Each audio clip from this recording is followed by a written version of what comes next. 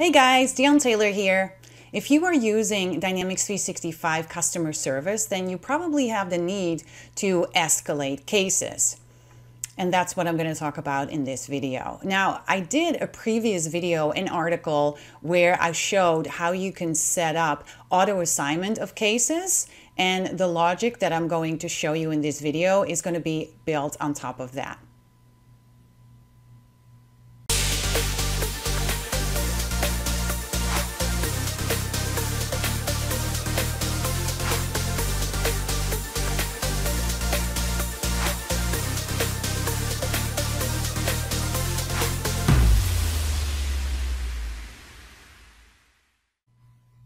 Let's first take a look at how this exactly works. So I actually am using this out of the box escalate case field and I'm going to set this to yes. And as you can see, now I have a custom field pop up that says escalate case two. So I actually have three values in here, but normally you would just have two. Or if you have more tiers, obviously you can put that in there as well. So I'm just going to go ahead and select tier 2 support and then I can save this and you'll see that the owner of this particular case will then be changed to the 2 tier support. And now we see that this case is now assigned to tier 2 support, which is a team. So the way that it works as I mentioned just earlier, I already created a solution for auto assignment, which is looking at the category and the subcategory fields. So if I actually open those up, because these are actually records, so I'm going to go ahead and open that up. So what we need to do here is we need to add these two fields, which are lookups to the team entity. That's what I did. And then again, right, whatever I have here in two tier support or in tier three support, that's the team what will be assigned to that particular case. So let's take a look at this.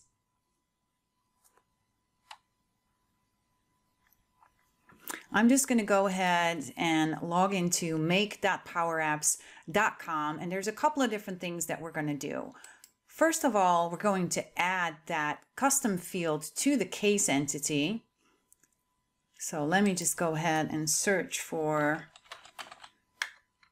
case and here we go. We can just open it up.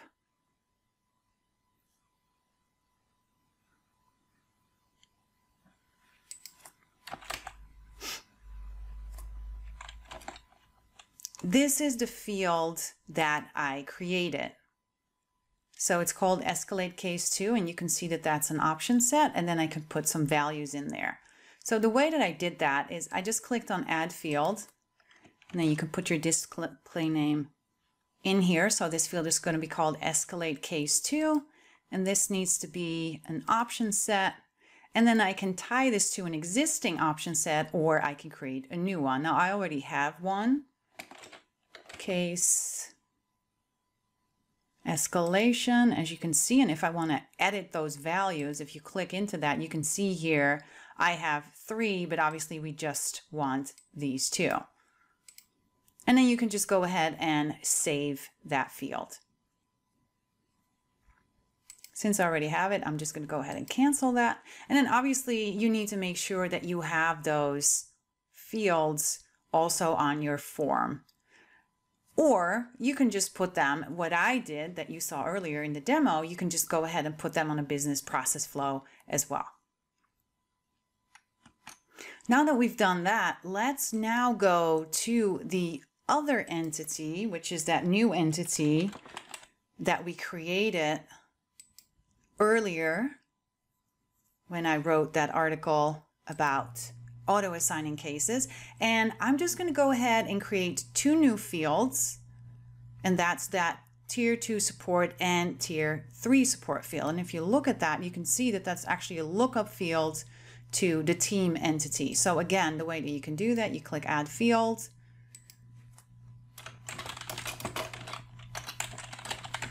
Tier 2 support, this is going to be a lookup field. Here we go. And then that's going to be teams or team is actually the system name, and I have to scroll all the way down to team.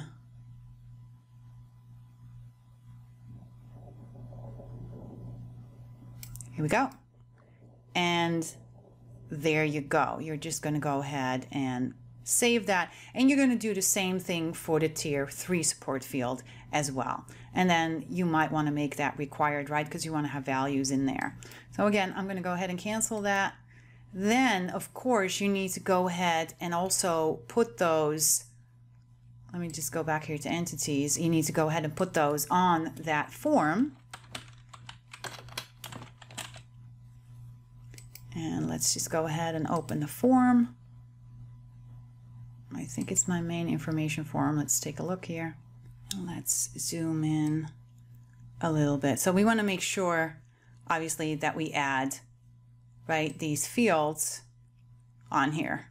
So let's do right over there and let's put tier 2 support oops on there as well and then obviously you need to make sure that you save and that you publish that. And then this is what that will look like right? We now have the tier 2 support and we have tier 3 support as well. And you can see here that I'm actually doing this on that subcategory field. You'll see that a little bit later. I know that because this one is the parent has a parent category.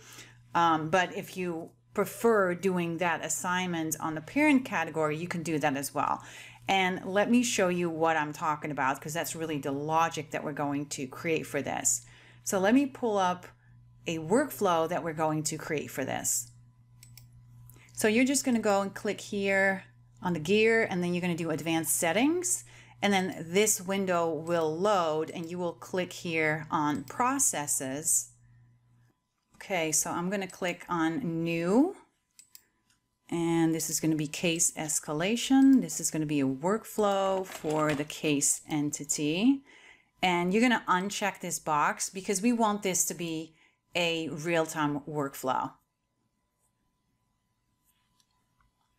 Okay, so we want to set the scope to organization and we want this to start when, let me find the field, escalate case 2, when that field changes and then you can run it as the user who makes changes to the record or as the owner of the workflow. If you're running it as the user who makes the changes, make sure that they have the proper security and the privileges that are needed to run that workflow. I'm going to do a check condition.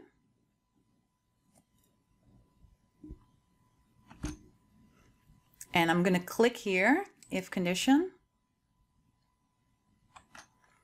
and I'm going to set this case and escalate case to equals. Let's first do that rule for tier 2 support.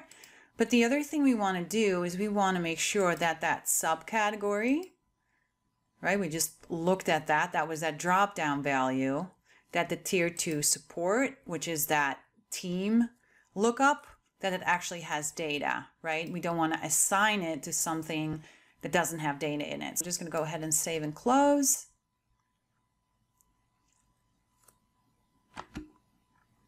And then I'm going to, again, click on this row because now we want to assign the record to whatever team is in that drop-down value in that subcategory field. So we're going to assign the case. I'm going to click Set Properties.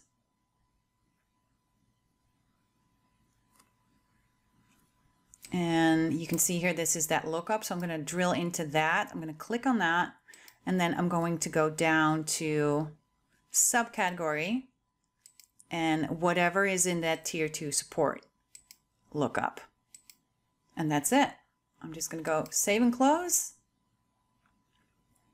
And now we're going to put our mouse again in that top line here. And we're going to do another check condition. And again, we're going to set the condition here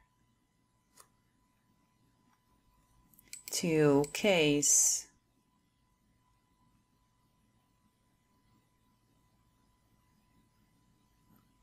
escalate case 2 equals tier 3 support.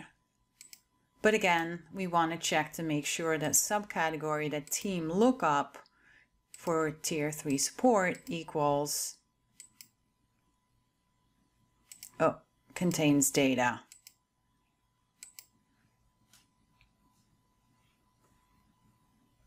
All right, and then at the end of that, I always like to put a stop workflow step in there as well. And here it is. And now we can just go ahead and save that and then we can activate that.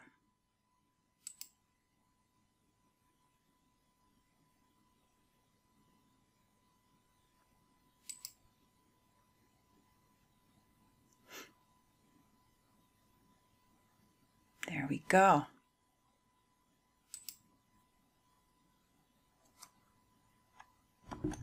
Now, another thing that you really need to keep in mind is that you still have to now create the teams, right? So again, you can go here to settings, you can go here to security, and then you can go here to teams. And when you're creating those teams, you want to make sure that these are ownership teams, right? So you can see here, I have an accounting team, I have tier two support, tier three support, and this is where, again, you can create those. So you're just going to put a name in there, whoever that administrator is, right? Which, let me just put myself in there.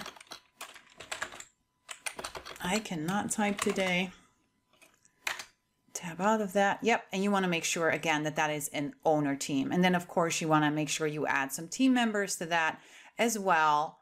And then lastly, you want to go ahead and you want to find those drop down values. Okay. And you can see here, I have here my all my case types, my view. You can see here that I have my tier two support and my tier three support all in there as well. So make sure you do that because otherwise, obviously, nothing is going to happen. I hope you guys enjoyed this video, and if you did, please hit that like button. Be sure to check back again next week for yet another video.